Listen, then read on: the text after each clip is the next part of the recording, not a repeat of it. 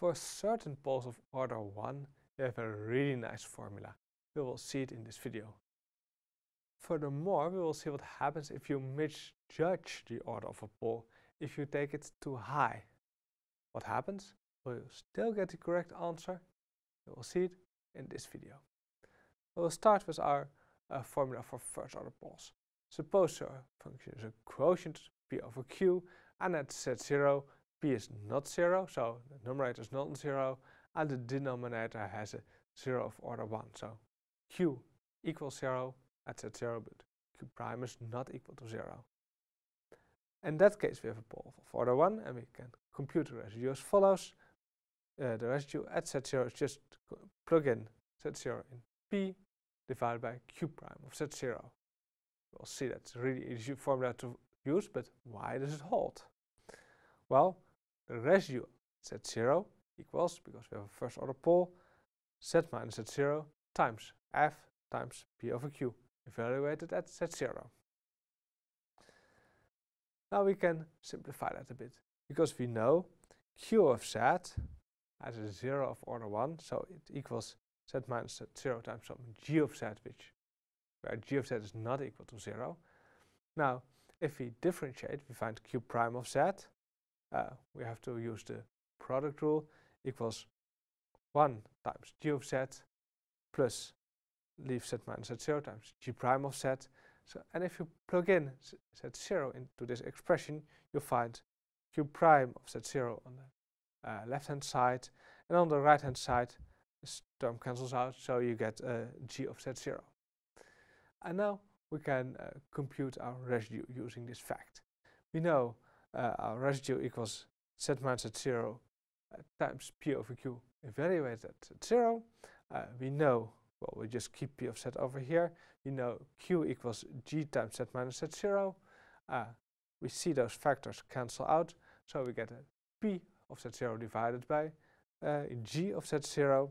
And we just saw that g of z0 equals q prime of z0 so there we have our formula. Residue equals p at z0. So numerator is no problem. Just plug in the point divided by q prime at z0. Differentiate the numerator once and plug in the point. Notice you're not differentiating the function or so. Then you would have to use the quotient rule.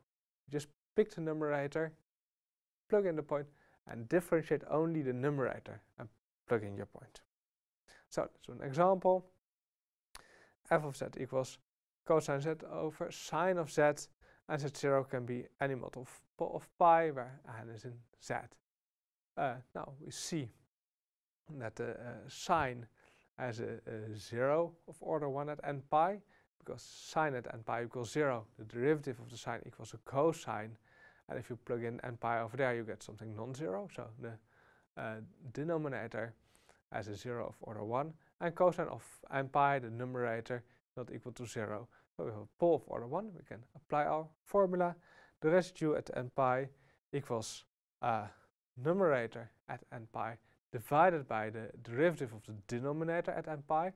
Well, the derivative of sine z becomes cosine z, uh, plug in the number, yields cosine n pi. So the residue is just equal to 1. So there we are. And another example, f of z equals z over z to the power 4 plus 4. Uh, the zeros of the uh, uh, denominator r at square root of 2 times e to the power i pi over 4. They lie on a, uh, on a circle with a radius square root of 2 uh, with angles 45 degrees and then 90 degrees further, all of them. Uh, we take just one of them, uh, the residue at z0, where we take this, this at 0, equals the function value at the numerator divided by the derivative of the denominator.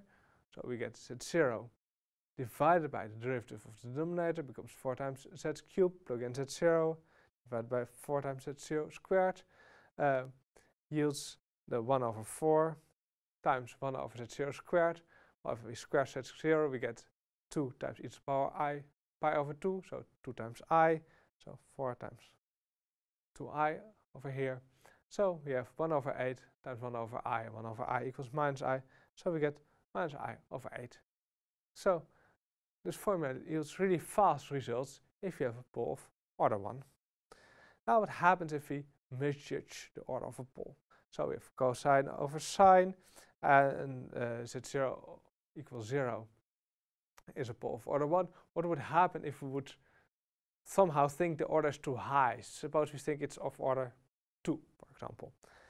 Now, so what, would we do in that case? Well, we multiply by z squared. Uh, then we have our phi of z and we think erroneously that we have a pole of order 2, so we have to differentiate once and divide by 1 factorial. So we compute phi prime with the quotient rule.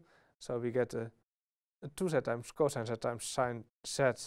Uh, and we get uh, from the differentiation of the cosine over here, we get a minus sine times z squared times the sine z.